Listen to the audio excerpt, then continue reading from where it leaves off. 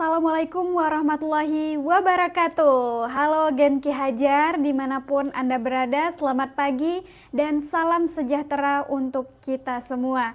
Senang sekali saya Kasisva kembali hadir menyapa Genki Hajar dalam uh, program trik dan tips menyelesaikan logika soal STEM.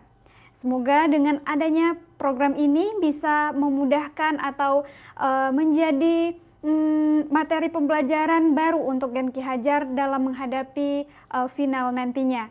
Namun sebelumnya Kasisva ucapkan selamat kepada Genki Hajar yang sudah uh, mengumpulkan hasil karyanya dan Kasisva sudah melihat beberapa hasil karya dari Genki Hajar bagus-bagus banyak yang bagus, hampir semuanya bagus ya. Dan uh, ya keren banget Selamat sekali lagi untuk Genki Hajar. Nah, uh, pada sesi kali ini kita akan membahas soal-soal dari jenjang SMA. Tapi uh, sebelumnya Kasiswa uh, akan memperkenalkan narasumber kita pada pagi ini, yaitu Kak Herman, yang mana Kak Herman ini sudah uh, sebelumnya sudah menemani Gen Ki Hajar juga dalam uh, episode yang sama ya dalam uh, program yang sama maksudnya yaitu trik dan tips menyelesaikan logika soal STEM untuk uh, level intermediate. Nah, langsung saja kita ajak bergabung bersama Kak Herman. Ya, Kak Herman selamat pagi. Bagaimana kabarnya Kak Herman? Selamat pagi Kak Siswa, Alhamdulillah baik Kak Siswa. Ya, Uh, Kak Herman boleh uh, menyapa Gen Ki Hajar terlebih dahulu? Silahkan Kak. Iya, persis Pak. Assalamualaikum warahmatullahi wabarakatuh. Selamat pagi, salam sejahtera buat kita semua. Semoga kita semua selalu dalam keadaan sehat walafiat. Amin ya robbal alamin. Mudah-mudahan Gen Ki Hajar selalu semangat ya. Oke, sebelumnya perkenalkan uh, nama kakak adalah Kak Herman. Pada kesempatan yang lalu Kak Herman juga menyampaikan atau membantu adik-adik Gen K Hajar semuanya untuk menyelesaikan eh, soal-soal, tips dan trik dari soal-soal Gen K Hajar ini semua gitu ya. Yang untuk level intermediate kemarin dan sekarang uh, kita akan coba untuk membahas soal-soal the advance gitu ya. Nah, sebelumnya Kak Herman sampaikan selamat bagi Gen K Hajar semua yang sudah masuk ke final.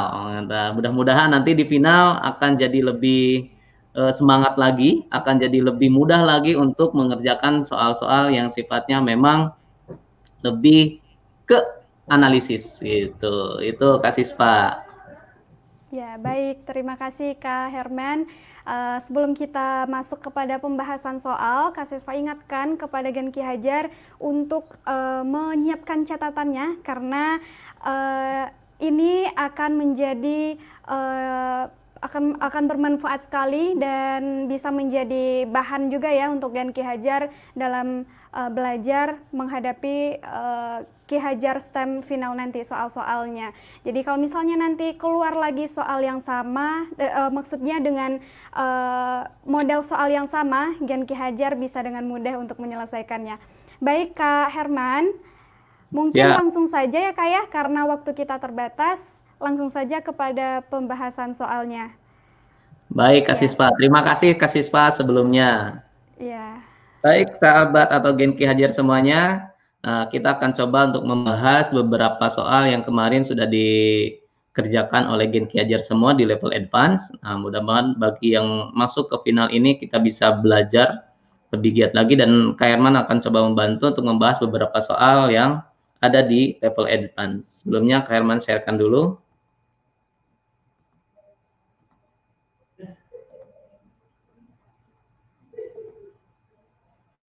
Oke. Baik. Kita akan coba untuk menyampaikan trik dan tips menyelesaikan logika soal STEM Ki Hajar STEM level advance gitu ya. Untuk SMA atau sederajat. Nah, nanti coba adik-adik atau Genki Hajar semuanya mempersiapkan seperti apa yang tadi Kak Sispa sampaikan buku catatannya mudah-mudahan ini bisa membantu semua gitu ya baik Seperti biasa soal yang pertama gitu ya. Ini di sini kita ada narasi soal untuk soal yang nomor satu sampai soal nomor tiga. Di sini eh, narasinya cukup panjang nah, tentang eh, apa namanya di sini TIR ya, total internal reflection gitu ya. Di sini kita akan bermain tentang eh, kecepatan cahaya, kemudian ada optik gitu ya, ada indeks bias juga ya. Nah, itu nanti kita akan coba bahas beberapa soal yang berkaitan dengan hal-hal tersebut. Nah, ini kaitannya di sini adalah tentang optik gitu ya. Nah, seperti contoh soal nomor tiga.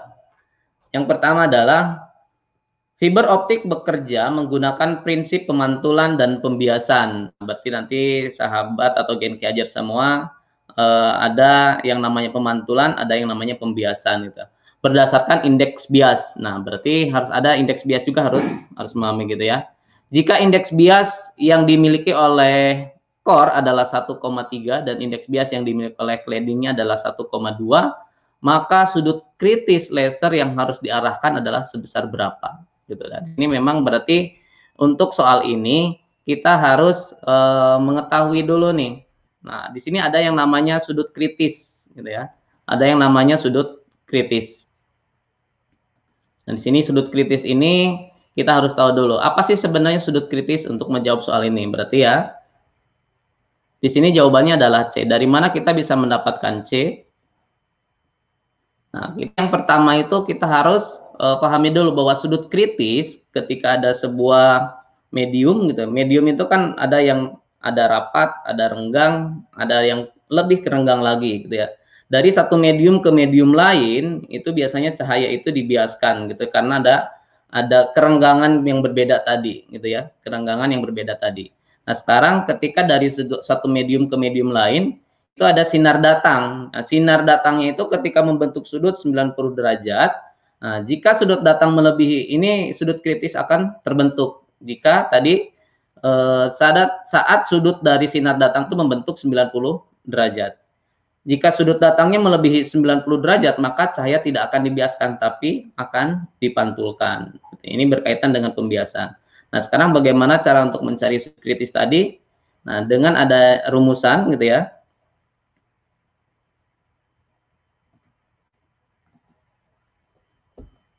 Oke, berarti ada uh, N1 dikalikan dengan sin theta 1, artinya N ini adalah uh, indeks bias tadi gitu ya dikalikan dengan sudutnya. Nah, sudutnya kemudian ada N2 dikalikan dengan sin theta 2. Setelah itu kita masukkan nih yang sudah diketahui tadi gitu ya.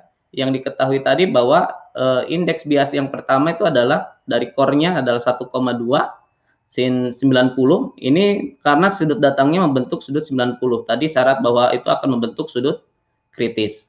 Kemudian tadi indeks bias dari paddingnya adalah 1,3 sin uh, theta. Nah, theta duanya ini kita ganti dengan theta uh, kritis gitu ya. Kemudian kita tahu bahwa sin dari 90 derajat itu nilainya adalah satu. Ini jangan kebalik antara sin dengan cos ya. Kalau Pak Herman atau Kak Herman boleh sampaikan, sin itu berawal dari dari yang paling kecil sudut 0 sampai ke sudut 90 itu naik.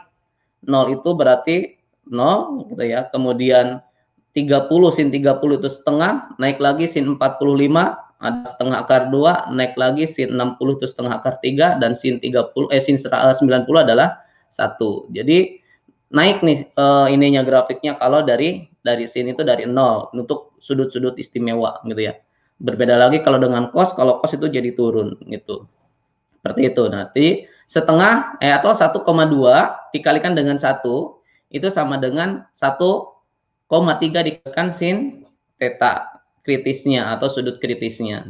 Nah, nanti kita akan peroleh bahwa sin tetanya itu adalah 1,2 dibagi dengan 1,3 dengan aturan e, sinus kosinus gitu ya. Dengan aturan sinus ini kita dapat memperoleh sudut dari e, sin tetanya itu gitu. Nah, ini sudutnya akan kita peroleh sebesar 67,3 derajat gitu. Nah, jika tetanya bagaimana kalau tetanya kurang dari 67 derajat, 3? Nah, ini bisa bisa saja namun itu tidak akan maksimal dalam proses tir tadi gitu ya. Jadi sudut kritis ini uh, itu akan membuat uh, sitir itu akan berbuat jadi lebih maksimal penggunaannya gitu ya. Nah, kalau dia sudutnya kurang dari 67,3, maka dia ternyata tidak akan tidak akan maksimal dalam proses tirnya. Itu seperti itu Genki Hajar. Nah, untuk soal yang nomor tiga ini uh, masih cukup mudah mungkin ya. Gitu. Karena langsung aplikasian ke dalam sebuah rumus. Oke. Kita lanjut ke soal berikutnya.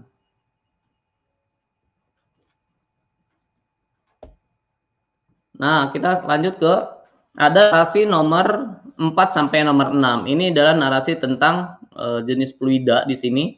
Fluida itu berarti adalah benda yang memang bergerak gitu ya. Di sini yang bergeraknya adalah gas. Nah, dalam hal ini adalah ada gas propana gitu. Gas propana ini digunakan untuk uh, balon ini, balon ya tabung balon ini. Kemudian nanti kita akan coba mencari berapakah uh, jumlah jumlah gasnya yang tersisa gitu ya. Atau ada bagian lain yang kita cari. Nah, dalam sistem ini kita akan coba bahas yang pertama adalah soal nomor 5. Misalnya ada volume gas yang terperangkap pada balon udara sebesar 50.000 meter kubik. Nah, ini perlu diperhatikan ada 50.000 meter kubik. Jenis gas adalah 0,09 kg per meter kubik. Nah, ini masa jenis gasnya adalah 0,09 kg per meter kubik. Dari satuan kita bisa tahu bahwa masa jenis itu adalah massa per volume gitu. Masanya adalah kilogram, volumenya meter kubik. Dan berat dari balon tersebut adalah 5000 newton. Nah, ini bedakan antara berat dengan massa. Nah, kalau berat berarti satunya newton, kalau massa adalah kilogram.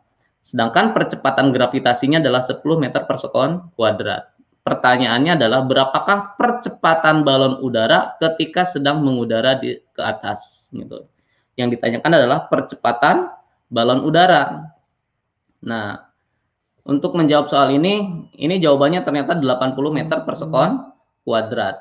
Bagaimana cara mencarinya? Nah, ini kita coba perhatikan.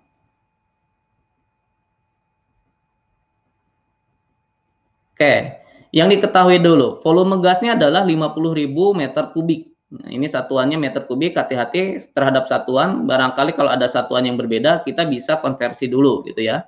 Kemudian massa jenis gasnya adalah 0,09 kg per meter kubik, sudah sama di sini meter kubik, di sini juga meter kubik. Kemudian berat balonnya adalah 5000 newton. Nah, newton itu kilogram per meter kilogram meter per sekon kuadrat gitu ya. Kemudian ada gas itu adalah 10 meter per sekon kuadrat.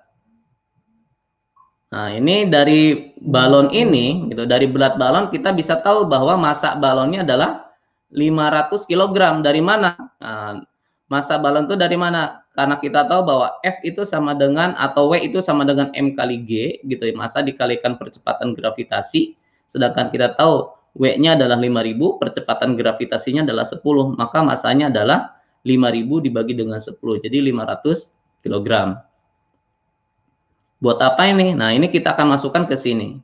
Dari rumusan F sama dengan M kali A atau hukum Newton kedua, gitu ya, bahwa sigma F itu sama dengan massa dikalikan percepatan. Nah, itu nanti kita akan coba uraikan. Nah, sigma F-nya yang terjadi adalah F gas ini adalah ketika dia naik ke atas. Nah, perlu diperhatikan juga bahwa gaya itu merupakan sebuah vektor gitu ya. Jadi vektor itu ada arahnya selain dari nilai. Nah, ketika arahnya itu dia akan berpengaruh apakah nilai tersebut negatif atau positif. Ketika ke atas biasanya itu dilambangkan dengan positif, tapi kalau ke bawah maka dia jadi negatif. Begitupun dengan ketika ke kanan. Ke kanan itu dia nilainya positif, kalau ke kiri nega, eh, ke kanan itu positif, kalau ke kiri adalah negatif gitu ya. Nah, dalam hal ini ketika gaya gas yang ketika mengapung ke atas itu adalah positif, kemudian ada berat balonnya. Berat balon ditarik oleh gravitasi gitu ya. Itu ada adalah ke bawah, jadi negatif nilainya. Itu akan sama dengan massa dikalikan dengan percepatannya. Nah, sekarang gas tersebut karena kita belum tahu gayanya seperti apa atau berapa nilainya, kita buat atau kita pecah karena yang diketahui dari gas tersebut adalah volume gitu ya.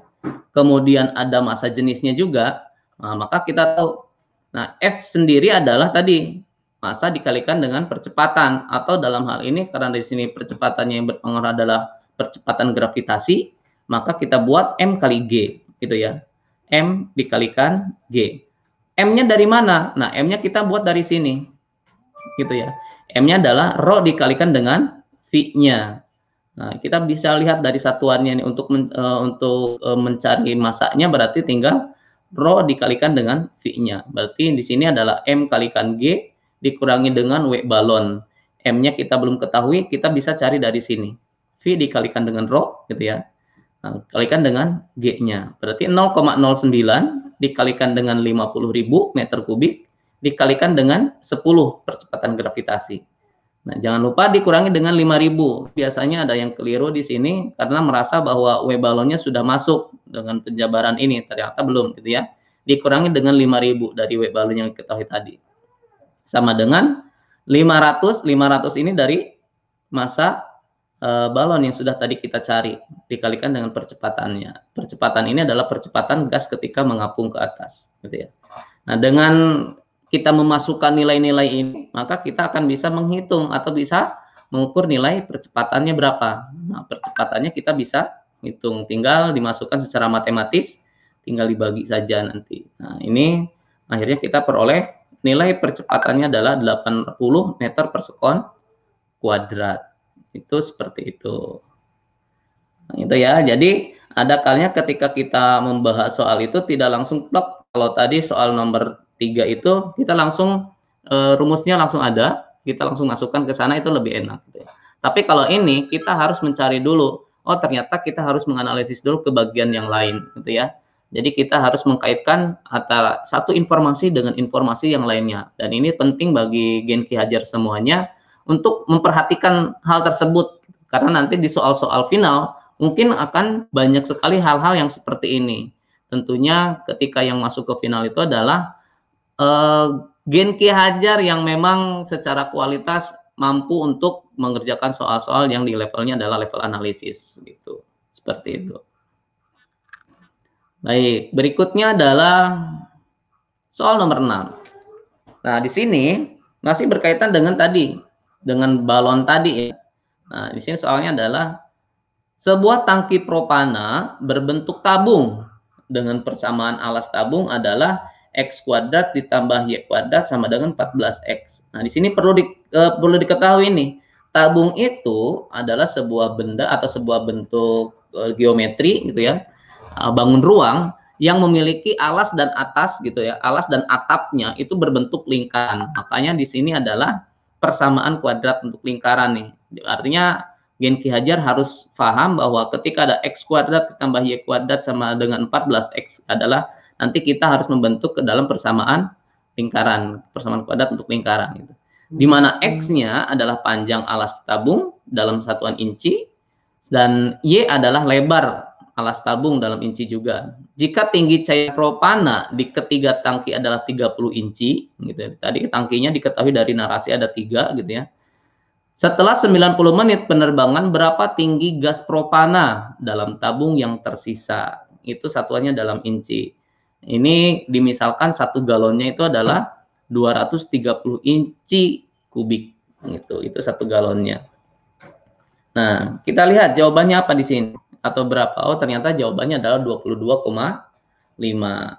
Baik, Ken Ki Hajar untuk menyelesaikan soal ini, nah ini akan lumayan juga nih karena kita akan mengaitkan antara persamaan lingkaran gitu ya. Kemudian ada eh, tadi juga tabung atau volume gitu ya. Itu akan kita coba kaitkan dengan itu. Oke, kita ketahui dulu. Yang pertama adalah alas tabung itu berbentuk ini, lingkaran kan ya. Alas tabung berbentuk lingkaran eh, dengan rumusan x kuadrat ditambah y kuadrat sama dengan 14x. Nanti kita akan coba buat uh, lingkaran ini jari-jarinya berapa gitu ya. Kenapa kita butuh jari-jari? Karena nanti kita perlu di berapa volume atau berapa tinggi yang akan dicari dari propana tersebut. Tentunya dari volume yang akan kita ketahui. Kemudian waktu penerbangannya adalah 90 menit. Jadi tadi kita ketahui di soal bahwa si balon tersebut terbang selama 90 menit. Nah, kita ketahui juga satu balon itu ternyata memiliki tiga tangki. Nah, tiga tangki yang diisi dengan propana tadi. Nah, satu tangkinya ada 20 galon. Ini berlipat-lipat nih ya, ada kayak tangga gitu. Satu balon tiga tangki, satu tangki 20 galon. Nah, ketika satu jam penerbangan itu membutuhkan 30 galon propana. Bagaimana kalau 90 menit? Nah, ini kita harus eh, konversi jam dengan menit seperti apa. Hati-hati juga ya antara jam dengan menit. Satu jam itu berapa menit nanti ya. Kemudian satu galonnya adalah 231 inci kubik. Nah, ini yang kita ketahui di di soal. Sekarang langkah yang pertama yang akan kita lakukan adalah mencari jari-jari tadi ya. Mencari jari-jari yang ada pada alas tabung tadi. Dari mana kita bisa mencari jari-jari? Yang pertama adalah kita membuat atau menguraikan atau menjabarkan persamaan kuadrat ini. X kuadrat ditambah dengan Y kuadrat sama dengan 14X. Kalau Kak Herman pindahkan yang ini atau yang sebelah kiri dikurangi dengan 14X, yang sebelah kanan pun dikurangi dengan 14X gitu ya. Nah, maka akan terjadi X kuadrat min 14X ditambah Y kuadrat sama dengan 0. Maka persamaan kuadratnya akan menjadi sempurna seperti ini. Artinya di bagian kiri ini kuadratnya juga di sini ada 49 kuadrat dari mana gitu ya ini nilainya ternyata akan sama saja dengan X kuadrat ditambah 14X tambah Y kuadrat nih. Kalau Pak Herman uh, kuadratkan X min 7 uh, dikuadratkan, itu akan sama dengan halnya antara A min B dikuadratkan, itu hasilnya jadi A kuadrat min 2AB uh, per eh, min 2AB ya uh, ditambahkan dengan B kuadrat. Ini dalam hal ini berarti X min 7 dikuadratkan adalah X kuadrat, kemudian min 14x gitu. kemudian ditambahkan dengan 49 nah biar nanti hasilnya di x kuadrat min 14x nah ini 49 ini harus hilang. Tadinya dapat 49 makanya dikurangi dengan 49 gitu ya. Ada penambahan atau pengurangan 49 di sini. Ditambahkan dengan y kuadrat kalau y kuadrat di sini tadi sudah tetap gitu ya. Nah kalau sudah seperti ini maka kita bisa memindahkan ya. Dengan bisa memindahkan antara X min 7 kuadrat ditambah Y kuadrat sama dengan 49. 49 itu kita tahu bahwa nilai 49 itu adalah 7 kuadrat. Ini semuanya sudah dalam bentuk kuadrat. Nah, dari mana kita tahu itu jari-jarinya berapa? Nah, itu jari-jarinya kita bisa mengacu pada persamaan lingkaran bahwa X min H atau X min B, X min A gitu ya sama aja ini hanya sebuah simbol di sini X min H kuadratkan ditambah dengan Y min K dikuadratkan itu sama dengan R kuadrat. Nah, ternyata ini jari-jari dikuadratkan. Artinya kalau dengan kita mengacu pada persamaan lingkaran ini, maka kita bisa menentukan jari-jari dari lingkaran tersebut adalah berapa? 7 inci gitu ya. Dari sini ya. Ini R-nya adalah jari-jari, 7 itu berarti dia jari-jarinya. Gitu. Jadi kita bisa menentukan yang pertama adalah jari-jarinya adalah 7 inci. Itu tahapan pertama. Tahapan pertama kita menentukan jari-jari. Kemudian berikutnya, setelah kita menentukan jari-jari, apa yang harus kita lakukan? Nah, ini adalah penggunaan propananya, gitu ya. Banyak propana yang digunakan adalah selama 90 menit, gitu. Kalau satu jam tadi 30 galon propana yang dibutuhkan, ya enggak? Kalau satu jam kita perlunya 30 galon propana. Sekarang berapa kalau 90 menit? 90 menit itu kan satu jam lewat 30 menit ya. Atau lebih enaknya yang satu jam ini kita ubah ke dalam menit gitu. Jadi 90 menit dibagi dengan 60 menit tinggal dikalikan dengan tadi kebutuhan satu jam 30 menit. Maka selama 90 menit itu akan membutuhkan 45 galon propana. Oke, sampai di sini. Kemudian Berikutnya, setelah kita tahu bahwa selama 90 menit itu kita butuh 45 galon propana, kita akan cari bahwa satu balon itu kita butuhnya tiga tangki. Nah, satu tangki tadi butuh berapa galon? 20 galon. Gitu ya. Jadi, dalam satu balon itu kita sebenarnya memerlukan berapa galon gitu ya. Tadi kan penggunaannya ada 45 galon. Nah, satu tang satu balonnya ada berapa totalnya? Ternyata dalam satu balonnya itu totalnya ada 60 galon gitu ya. Yang digunakan 45 galon. Berarti sisanya berapa galon gitu ya. Nah, sisa galonnya adalah 15. Kenapa dari 60 kurangi 45? Itu adalah 15 galon. Sisa propananya nah, itu berarti 15 dikalikan 231 inci. Kenapa? Satu galonnya adalah 231 inci, gitu ya. Jadi sisa propana yang ada adalah 3465 inci kubik. Itu, itu adalah sisa propana. Nah, udah sampai tahap ini, kita sudah tahu nih ternyata sisa propananya ada sekian. Sisa propananya ada sekian atau ada 3465. Kemudian kita tahu bahwa wadahnya berbentuk tabung, maka kita tinggal mencari volume tabungnya dengan memasukkan volume tabung yang sudah diketahui ini. Gitu ya. Oke, sekarang tinggal kita masukkan ke dalam volume tabung. Nah, untuk mencari tinggi gas propana, kita perlu volume tabung tadi. Volume tabungnya yang mana? Karena yang ditanyakan adalah sisa, gitu ya. Maka kita masukkan volume tabung yang sisa tadi. Nah, kita tahu bahwa volume tabung itu adalah VR kuadrat dikalikan dengan T. T itu adalah ini tinggi, gitu ya. Nah, volume tabung sisanya berapa? 3465. Kemudian V-nya kita bisa menggunakan 22 per 7 atau 3,14. Kenapa di sini menggunakan 22 per 7? Karena di sini jari-jari yang kita ketahui adalah 7 inci. Lebih enak menggunakan 22 per 7. Nah, ini bisa langsung kita sederhanakan, ya enggak? Nah, sekarang tinggal kita masukkan. Berarti volume tabungnya 3465 sama dengan 22 per 7 dikalikan 7 dikalikan 7 dikalikan dengan T atau tinggi yang akan kita cari. Nah, dengan pengerjaan matematis, secara matematis kita tinggal membagi 3465 dibagi dengan 22 dikali 7. Ini 7 ini bisa kita sederhanakan. 22 kali 7. Gitu. Maka diperolehlah 22,5 inci.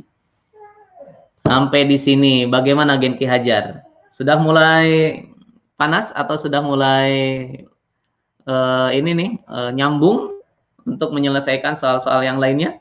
Ya, bagaimana Genki Hajar? Masih mau lanjut? Masih dong. Kak Herman masih uh, punya banyak soal ya Kak. Tapi Tuh. kita nggak berasa udah setengah jam nih kita membahas soal dan baru tiga soal ya Kak ya?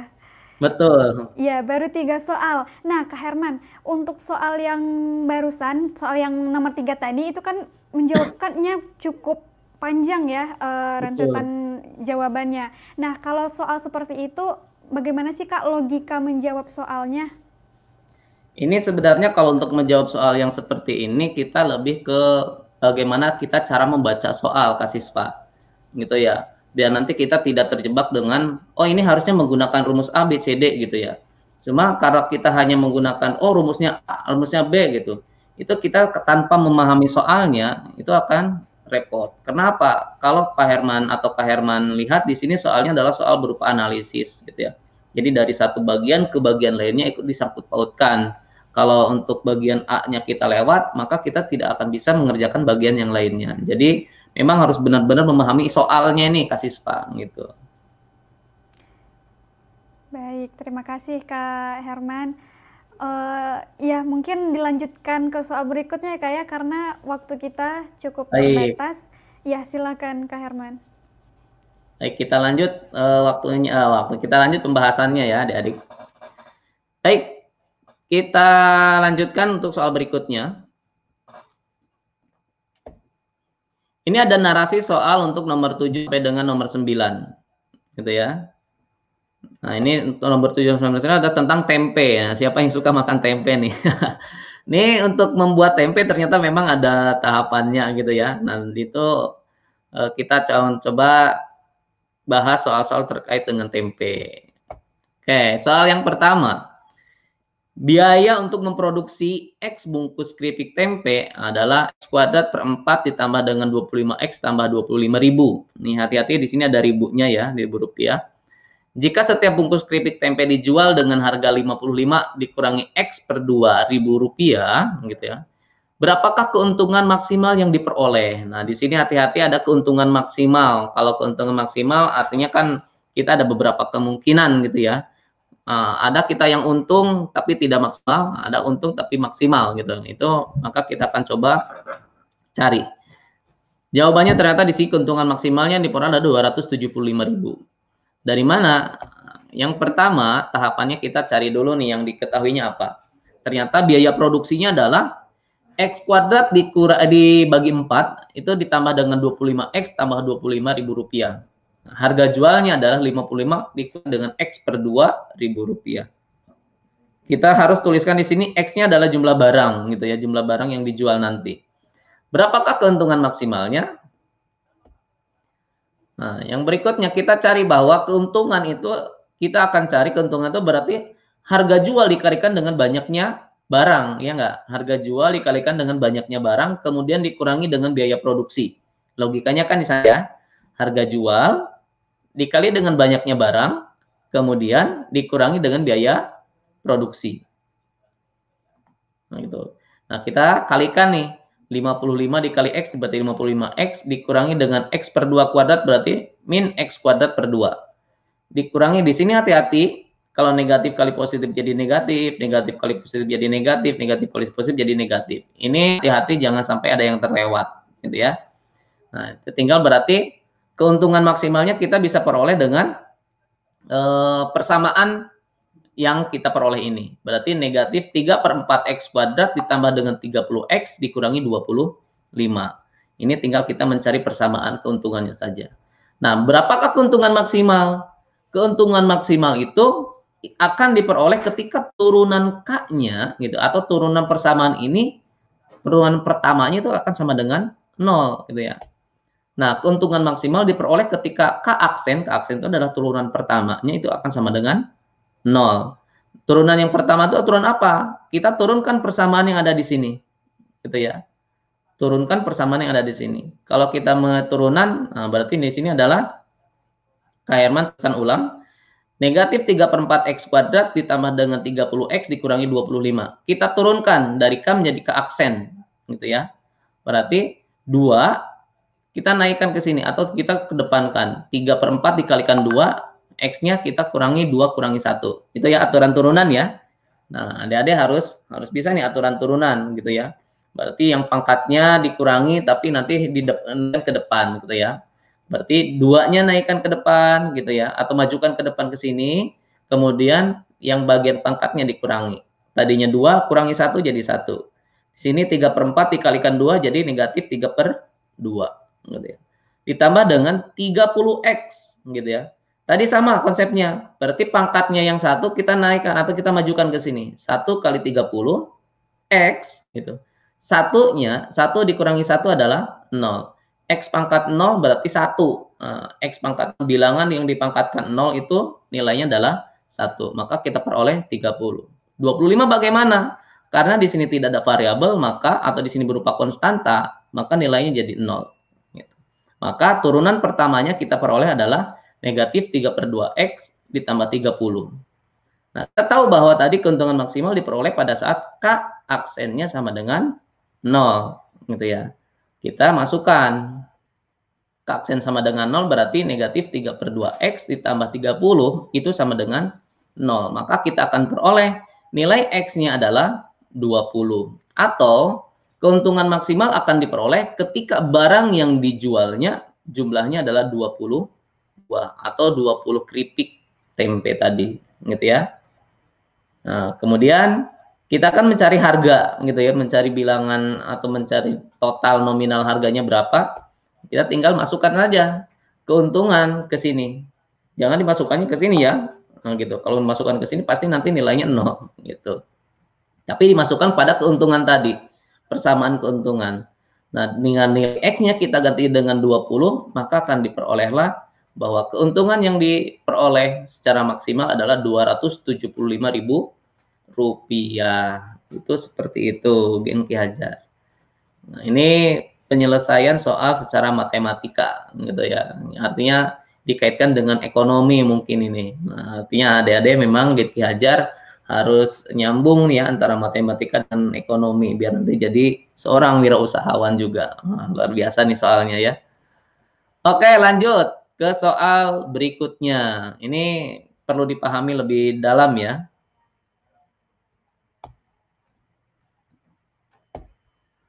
Nah, di sini ada narasi soal untuk nomor 10 sampai nomor 12. Di sini tentang gangguan pendengaran. Nah, berarti artinya ada ada frekuensi gitu ya, ada nanti kita akan berbicara tentang uh, gelombang suara gitu ya.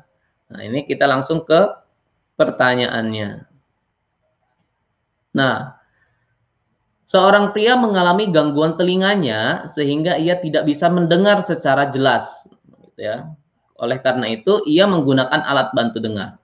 Ketika ia mengobrol dengan temannya tanpa menggunakan alat bantu dengar, taraf intensitas yang didengarnya adalah 20 desibel gitu ya. Ya 20 desibel gitu.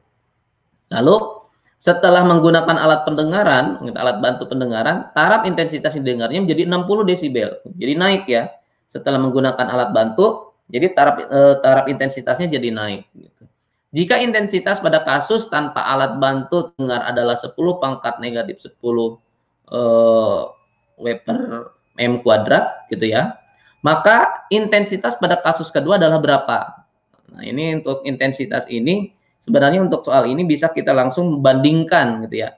Kita bisa langsung bandingkan. Ternyata jawabannya adalah 10 pangkat negatif 6. Nah, sekarang yang diketahui adalah taraf intensitas satu, taraf intensitas dua, kemudian di sini adalah intensitas satu, kemudian ada intensitas nol gitu ya. Intensitas nol itu adalah intensitas yang di uh, apa namanya awal gitu ya, merupakan suatu tetapan. Nah ini kita tinggal membandingkan tersebut. Kita kan I2. Nah kita tahu bahwa uh, untuk mencari taraf intensitas itu adalah 10 log uh, I per I0. I-nya ini adalah I yang akan kita cari di sini gitu ya. Kalau di sini I2 berarti dibandingkan dengan I0 tadi. Nah, berarti tinggal kita masukkan TI2 sama dengan 10 log I2 per I0.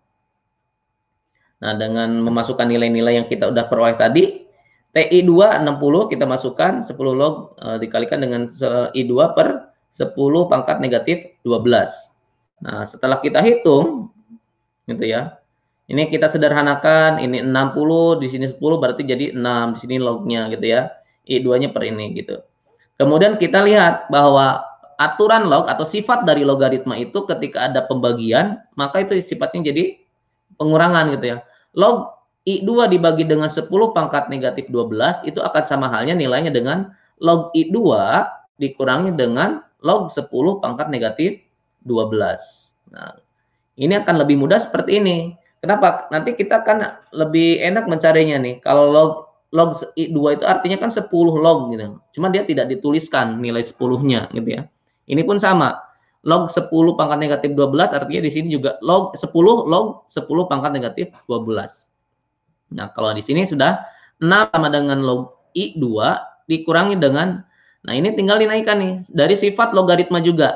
Sifat logaritma ketika ada bilangan berpangkat, nah, bilangannya sudah sama, log 10 log 10 gitu ya maka pangkatnya bisa naik ke depan gitu ya pangkat yang 12 ini bisa maju nih ke sini gitu ya dikurangi tapi hati-hati tandanya jangan sampai terlewat dikurangi dengan negatif 12 log 10 nah perhatikan baik-baik di sini 10 log 10 nya tetap di sini cuma 12 nya kita maju gitu ya nah log I2 nih 10 log 10 kan jadi satu ya Nah, bilangan dipangkatkan berapa yang hasilnya bilangan itu sendiri berarti dipangkatkan satu.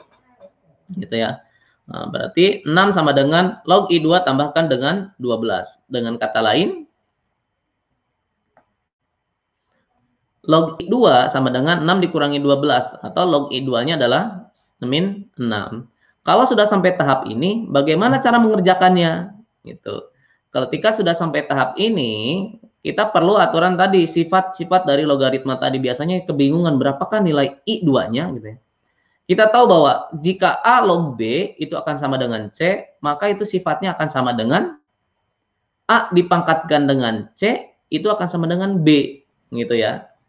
A-nya kan kita tahu tadi ketika tiga, kita tidak tulis e, bilangannya artinya itu adalah 10. Berarti A-nya adalah 10. Nah, B-nya adalah I2 gitu kan ya. B-nya adalah I2 dan C-nya adalah negatif 6. Maka B itu adalah apa tadi? Gitu. Maka kita bisa lihat bahwa tadi A itu 10, B-nya adalah I2, C-nya adalah negatif 6 gitu ya dengan sifat yang ini maka kita bisa masukkan ke sini I2 nya B nya kita turunkan I2 nah, kemudian A nya adalah 10 C nya adalah negatif 6 maka kita peroleh bahwa I2 nya atau intensitas keduanya adalah 10 pangkat negatif 6 itu jadi kita di sini walaupun kita berbicara tentang taraf intensitas atau pendengaran ternyata di sini mengerjakan soal-soal yang bersifat dengan eh, logaritma. Itu Luar biasa. Semangat adik-adik. Lanjut ya. Nah, ini ada soal untuk narasi, soal untuk nomor 13 sampai dengan nomor 16. Di sini kita akan bahas tentang fotosintesis gitu ya. Nah, dari fotosintesis yang harus kita pahami bahwa fotosintesis itu memerlukan cahaya matahari gitu ya. Kemudian ada eh, C6H12O6 atau atau glukosa atau almilum lah gitu ya. Itu yang dihasilkan selain dari oksigen. Nah, sekarang yang akan dibahas atau ditanyakan di soal-soalnya adalah yang pertama itu adalah cahaya matahari yang digunakan untuk fotosintesis berada pada rentang cahaya tampak. Sebuah tanaman dapat menyerap spektrum warna merah dengan panjang gelombang 663 nanometer Nah, ini hati-hati nanometer itu kita di, sini karena jawabannya di sini meter kuadrat semua, berarti nanometer ini harus diubah ke dalam bentuk meter kuadrat. Nanti ya, meter. Kemudian luas dari daun tersebut adalah 5 cm persegi. Sama di sini pun harus kita ubah ke dalam e, meter gitu ya.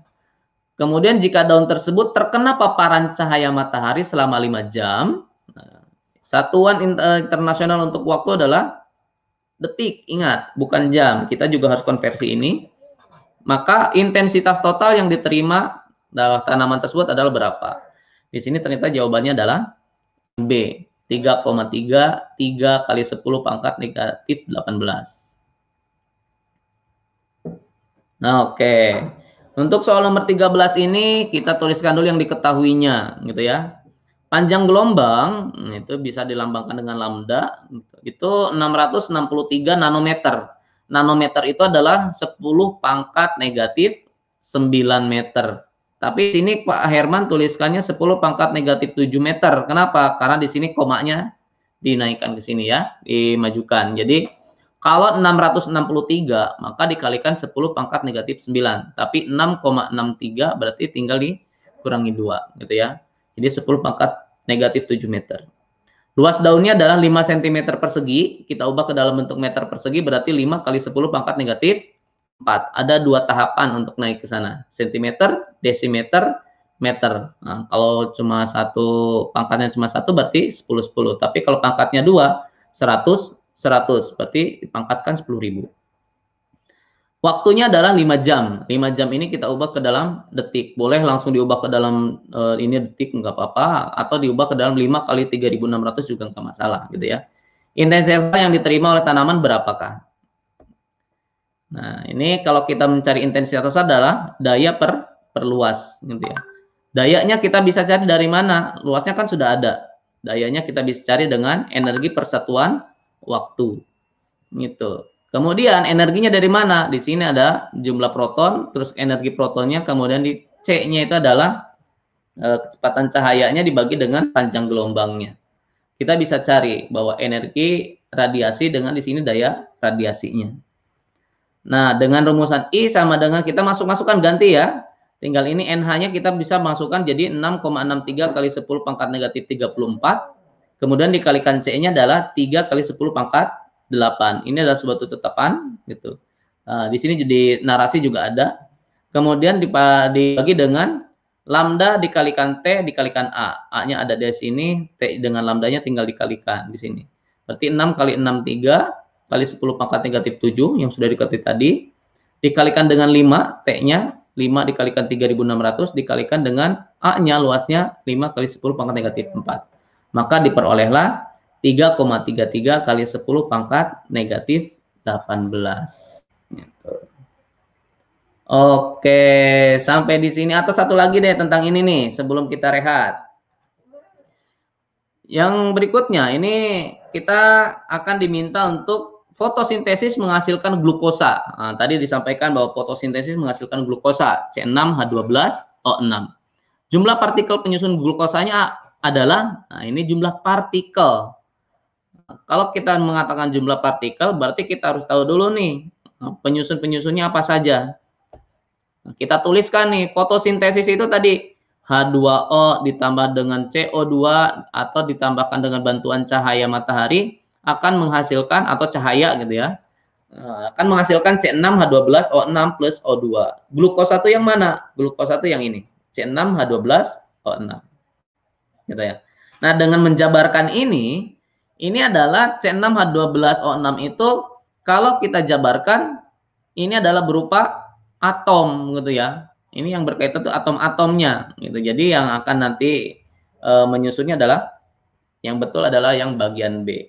24 itu dari dari mana aja? 6 atom C ditambah dengan 12 atom H ditambah dengan 6 atom oksigen gitu. Jadi ada 24 partikel penyusun glukosa gitu.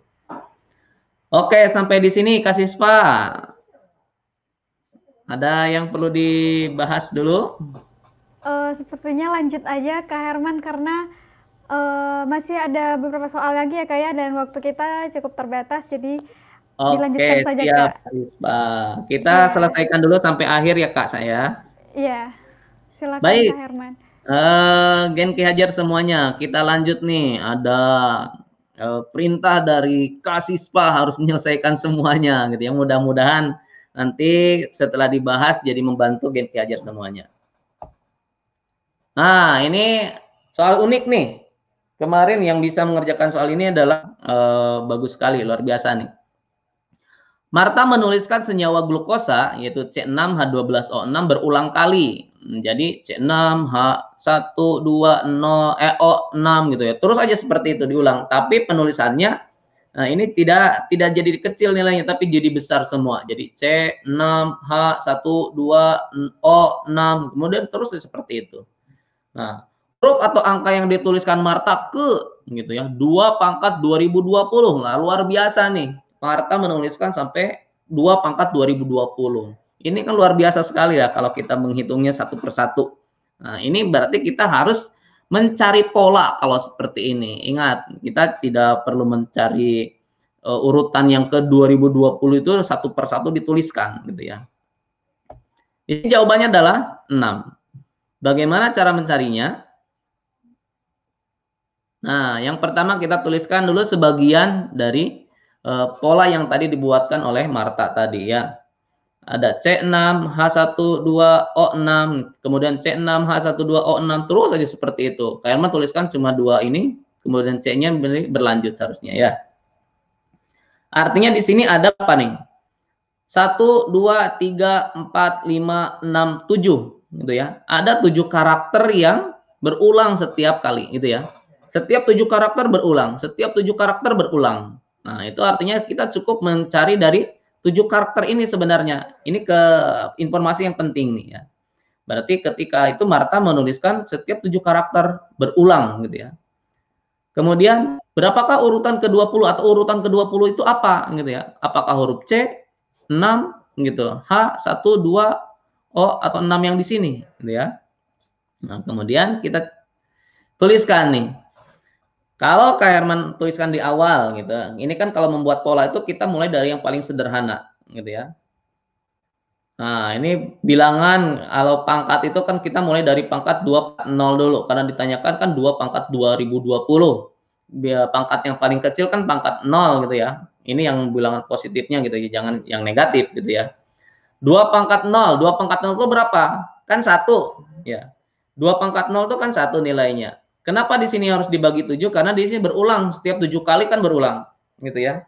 Ketika satu dibagi tujuh, itu kan nggak secara ini kan nggak bisa katakan seperti ya. Artinya satu dibagi tujuh itu merupakan suatu pecahan. Nah ini karena memang nggak bisa berarti sisanya apa? Ya bilangan itu tadi atau e, bagian itu tadi. Ketika satu berarti ya bilangan yang satu tadi.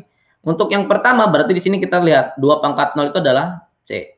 Berarti urutannya adalah pertama, urutan pertama atau C. Kalau dua pangkat satu, Kan ini pangkat 0. 2 pangkat 1 bagaimana? 2 pangkat 1 itu kan 2. Ketika dibagi 7 sama seperti 1. Sebelum tadi 7 tuh, maksimal kan 7 bagi 7 kan 1 gitu. Artinya 0 tidak ada sisa gitu ya. Nah, 2 bagi 7, nah ini ternyata tidak bisa juga. Nah, ini sisanya langsung aja bilang itu tadi e, sendiri. Jadi 2. Berarti yang kedua adalah 6 posisinya. 2 pangkat 1 posisinya ada di sini. 2 pangkat 2. 2 pangkat 2 kan 4 gitu ya. Ketika dibagi 7, sama nih, masih lebih kecil daripada 7. Berarti bilangan itu sendiri gitu ya, sisanya. Nah, bilangan itu sendiri itu yang mana? Posisi keempat kita hitung. 1, 2, 3, 4. Berarti pada angka 1 gitu ya, 2 pangkat 2 tuh. Kalau 2 pangkat 3, nah 2 pangkat 3 kan 8. Ini udah lebih dari 7 ya. 2 pangkat 3, 8. Ini lebih dari 7. 8 dibagi 7 dapat 1. Nah, sisanya berapa? 1. 8 bagi 7 dapat 1. 1 kali 7 kan 7. Berarti sisanya berapa? 1. Ini sisanya dapat 1. 1 itu, nah ini kan sisa sama dengan ini. Kalau sisa 1 berarti dia C. Kalau sisa 1 berarti dia C. Sama, kita coba hitung 8. 1, 2, 3, 4, 5, 6, 7, 8. Nah, di C juga kan? Nah, itu. Berarti kita tuliskan, kita lihat polanya. Oh, ternyata kalau sisa 1, C. Ya, gitu ya. Kita sama berarti sisa 1 C nih. Apakah nanti 2 pangkat 4 itu nanti sisanya 6? Nah, itu kita buktikan. Kalau ternyata sisanya 6, maka kita akan berulang lagi nih. Kalau tadi berulangnya 7. Sekarang berulangnya berapa? 2 pangkat 4. Nah, ternyata 2 pangkat 4 itu kan 16. 16 dibagi 7 sisanya 2. Kalau kita hitung 1, 2, 3, 4, 5, 6, 7, 8, 9, 10, 11, 12, 13, 14, 15, 16 ternyata 2 pangkat 4 itu ada pada angka 6 gitu ya. Kalau kita buatkan pola seperti ini, 16 dibagi 7 sisanya 2. Sisa 2 itu apa tadi? Di sini sama ya, sisa 2 6. Nah, kalau seperti ini, kita bisa memastikan bahwa 2 pangkat 5 itu berarti berapa? Sisanya 4, ya enggak? 2 pangkat 5 sisanya 4. Kalau sisa 4 itu berarti pada angka 1. Gitu. Nah, ini kalau kita lihat, di sini akan berulang nih. Setiap tiga kali berulang gitu ya. Setiap kelipatan tiga berulang gitu. Nah ini kalau kelipatan tiga uh, maka tidak ada sisa gitu di sini. Kalau ke dia angkanya berarti empat gitu, sisanya satu. Kalau lima sisanya dua. Lihat, bilangan pangkatnya berulang setiap tiga kali. Jadi yang kita hitung bukan yang ininya nih. Satu, dua, empat, delapan, enam belas, tiga puluh dua kalau yang kita hitung nilai pangkat hasil pangkatnya, itu akan repot. Kita memangkatkan dulu 2 pangkat 2020 itu berapa nilainya, kan gitu ya. Nah, makanya kita lihat pangkatnya. Kalau 2 pangkat 0, C. 2 pangkat 1, 6. 2 pangkat 2, 1. 2 pangkat 3, C lagi. 2 pangkat 4, 6. 2 pangkat 5, 1. Artinya setiap bilangan pang, bilangan pangkatnya akan berulang setiap tiga kali. Sekarang 2020 kita bagi. 2020 dibagi 3. Kenapa nggak dibagi 7? Kalau dibagi 7 itu kan tadi mencari hasilnya. Hasil dari, dari pangkatnya. Sekarang tinggal pangkatnya dibagi apa? Dibagi yang di sini. Bilangan 2020 dibagi 3 sisanya 1. Lihat sisanya pangkatnya kalau 0 berarti tidak ada sisa kalau satu, sisanya satu. Kalau dua, sisanya dua. Ada nggak sisanya tiga? Nggak mungkin sisanya tiga. Kenapa? Bilangan dibagi tiga, ya sisanya tiga berarti tidak ada sisa sebenarnya, gitu ya. Kalau bilangan dibagi tiga, sisanya maksimal adalah dua. Berarti di sini 2020 dibagi tiga, sisanya adalah satu. Kalau sisanya satu, nah ini bisa kita tebak langsung nih. Sisanya satu di sini kan ya, dua pangkat satu. Artinya dia adalah enam ternyata 6 jawabannya gitu. Nah, ini adalah mencari pola bagaimana kita mencari bilangan yang begitu banyak ya, dengan menggunakan pola yang lebih sederhana dan ini memang harus uh, analisis sifatnya gitu ya. Gitu. Oke, lanjut lagi. Ya, Kak Herman luar biasa ya soalnya di ya. tingkat advance ini. Nah, menurut Kak Herman, Eh, soal-soal di tingkat advance ini gimana sih Kak tingkat kesulitannya dibandingkan soal-soal di level sebelumnya? Luar biasa Kak Siswa, ini di level sebelumnya itu kan masih se untuk level intermediate ini ada kadang-kadang eh, soal-soalnya masih langsung ke rumusan tuh langsung enak gitu ya. Oh, ini dapat nih rumusnya seperti ini. Tapi di soal yang advance ini gitu ya. Itu lebih analisisnya lebih banyak hmm, kalau Kak Herman perhatikan gitu ya. Jadi eh, Gen Ki Hajar semua yang sudah mengerjakan soal advance ini akan sangat luar biasa gitu ya membutuhkan energi yang lebih, apalagi mungkin nanti di final kak. Yeah. itu seperti itu. Karena memang analisisnya luar biasa ini. Ya, untuk uh, di tingkat final tentu tingkat kesulitannya akan sedikit lebih tinggi dari ini ya Kak Herman. Betul sekali, makanya memang harus dipelajari atau diperhatikan bukan hanya di bagian uh, narasinya atau bukan hanya di bagian kita cara cepat mengerjakannya, tapi yang justru lebih pentingnya adalah bagaimana kita mengolah soal tersebut atau menganalisis soal tersebut. Itu seperti itu, Kak. Ya, baik Kak Herman, tidak terasa sudah hampir satu jam nih kita menemani Gen Ki Hajar. Ya seru banget, pengennya sih masih terus berlanjut ya Kak ya, karena Betul. seru juga mendengarkan Kak Herman menjelaskan gitu.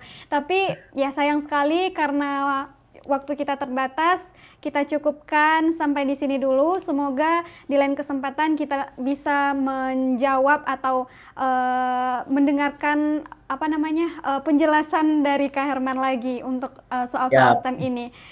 Ya, baik. Uh, selanjutnya mungkin uh, dimohon untuk uh, closing statement atau motivasi dari Kak Herman kepada Gen Ki Hajar yang nantinya akan uh, kembali uh, mengerjakan soal STEM di final nanti tanggal 4 Oktober 2020 hari Minggu. Silakan Kak Herman. Baik, kasih Pak. Baik, uh, ingin Ki Hajar semuanya. Uh, setelah kita tadi membahas beberapa soal-soal yang ada di soal advance gitu ya, itu akan jauh berbeda dengan soal yang kemarin kita bahas di intermediate. Ternyata di advance ini soal analisisnya jauh lebih banyak gitu ya. Artinya apa? Artinya ketika kita nanti akan mengerjakan soal yang di level final, tentunya itu akan jauh lebih menantang, gitu ya, akan jauh lebih menantang. Bukan sulit tapi menantang, gitu ya. Kalau sulit nanti e, bayangan di kita tuh udah kita nggak bisa ngerjain apa-apa, gitu ya. Tapi soal ini menantang, artinya ketika kita mengatakan soal itu menantang, Gen Ki Hajar semuanya itu akan merasa terpacu dan termotivasi untuk menaklukkan soal tersebut, gitu. Jadi Jangan patah semangat untuk terus belajar, untuk terus meningkatkan kemampuan. Nah, tentunya nanti di soal-soal yang ada di final ini itu akan jauh lebih menarik lagi nah, dan adik-adik Gen Hajar semuanya kalau memang nanti mengerjakan dengan serius itu insya Allah pasti bisa. Oke, itu Kak Sispa. Baik, terima kasih Kak Herman uh, sudah berbagi ilmu pengetahuannya kepada Gen Ki Hajar semuanya. Semoga Gen Ki Hajar bisa memahami ya. Dan kalau misalnya uh, masih kurang paham, silahkan diputar ulang tayangan ini. Ya baik, terima kasih Kak Herman. Sekali lagi Sama-sama, sampai kasih jumpa di lain kesempatan. Terima kasih Kak Herman. Ya, ya baik, uh, Gen Ki Hajar, uh, sampai di sini dulu kebersamaan kita uh, terus semangat belajar dari rumah, tetap menerapkan protokol kesehatan, uh, tetap jaga kesehatan dan sampai jumpa di final Ki Hajar STEM 2020 pada tanggal 4 Oktober 2020. Ya, terima kasih sudah uh, bergabung bersama Kasispa dan juga Kak Herman. Uh, dan Kasispa informasikan nanti uh, pukul 15.30 Kasisva dan tentunya bersama Kak Herman akan kembali hadir lagi untuk Gen Ki Hajar dari jenjang SMK. Terima kasih, Kasisva pamit bersama kru yang bertugas. Wassalamualaikum warahmatullahi wabarakatuh.